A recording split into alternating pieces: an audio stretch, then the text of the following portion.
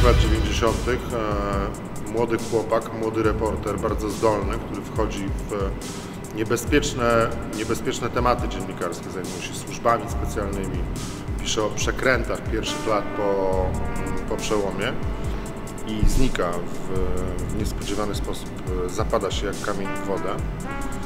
Nie wiadomo co się stało. Wokół tej sprawy dzieją się dziwne rzeczy, znikają dowody. Z mieszkania tego chłopaka mm, giną jego nagrania, giną teczki, w których on dokumentował swoje sprawy. Śledztwo jest sprowadzone w beznadziejny, słaby sposób. Nagle po 22 latach mm, e, prokuratura stawia zarzuty w tej sprawie jednemu z najcenniejszych polskich biznesmenów tamtego, tamtego okresu, milionerowi Aleksandrowi G., który był e, senatorem w latach 90. Prokuratura uważa, że, e, że to on zlecił zabicie tego chłopaka, bo się bał e, tego, co on może na jego temat napisać.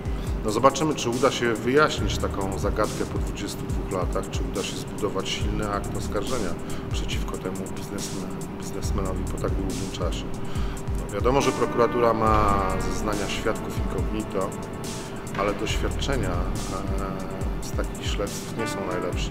Przykładem jest tu sprawa Olewnika czy sprawa mm, Papały, które niestety przewracały się przy, przy, przy takich zeznaniach świadków, bo świadkowie, którzy opowiadają po wielu latach o takich przestępstwach, mogą konfabulować, mogą e, chcieć załatwić coś e, dla siebie.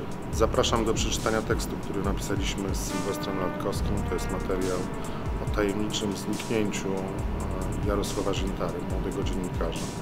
Specjalnie dla nas wspomnienie o Ziętarze napisał jego kolega redakcyjny z Poznania, który siedział z nim w biurko w biurko i opisuje, jakim Ziętara był człowiekiem, czym się zajmował, czym się interesował i dlaczego mógł zaginąć.